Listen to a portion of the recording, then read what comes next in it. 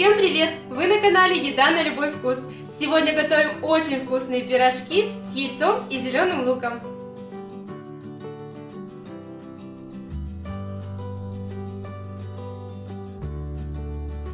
Пирожки мы будем выпекать в духовке, но их также можно будет пожарить на сковороде. Тесто получится у нас очень нежным, мягким и вкусным. И это тесто долго не черствеет. Давайте быстренько посмотрим, какие продукты нам понадобятся. Мука пшеничная, приблизительно 4 стакана. Сливочное масло, одна упаковка, здесь 180 грамм. Стакан молока, 230 миллилитров.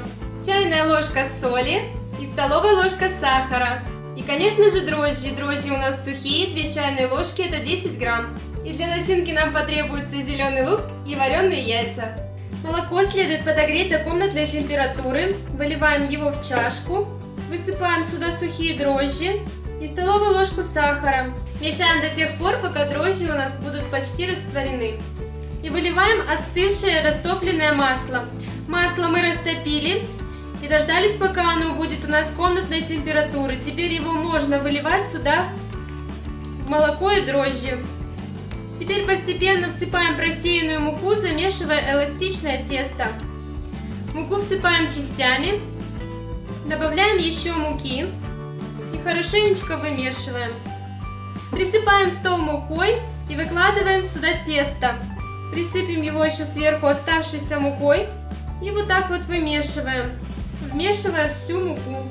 Обычно у меня всегда уходит 4 стакана. Тесто готовится очень быстро. И пирожки действительно остаются мягкими. В тесто мы не добавляем яиц. Вместо молока можно взять воду. Вместо сливочного масла можно брать маргарин. Но, соответственно, и вкус у вас немножечко будет отличаться. Тесто у нас готово. Получается оно очень мягким, эластичным. Не липнет совершенно к рукам.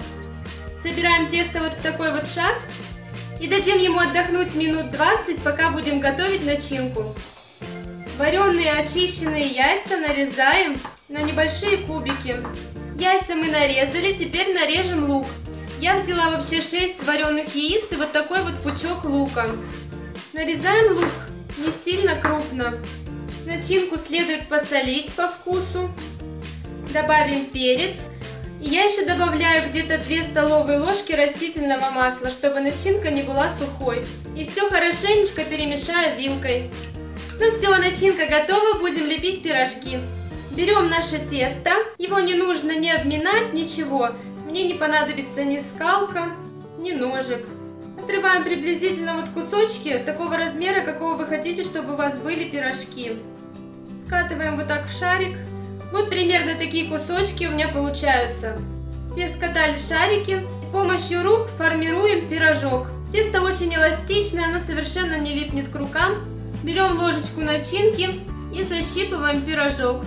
Вот такие небольшие пирожочки у меня будут получаться. Они, конечно, еще увеличатся в размере. Тем временем духовку разогреваем до 200 градусов и пирожки ложим на противень, застеленный пергаментной бумагой.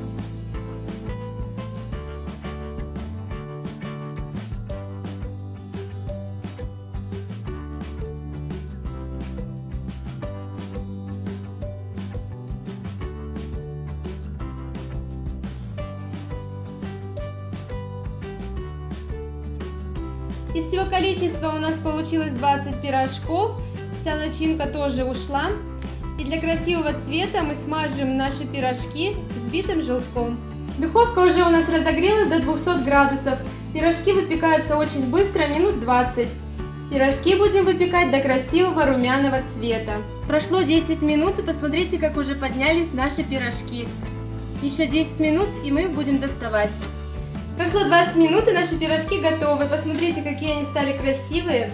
Если вы будете раскатывать тесто толще, чем я, то печь пирожки нужно 25-30 минут.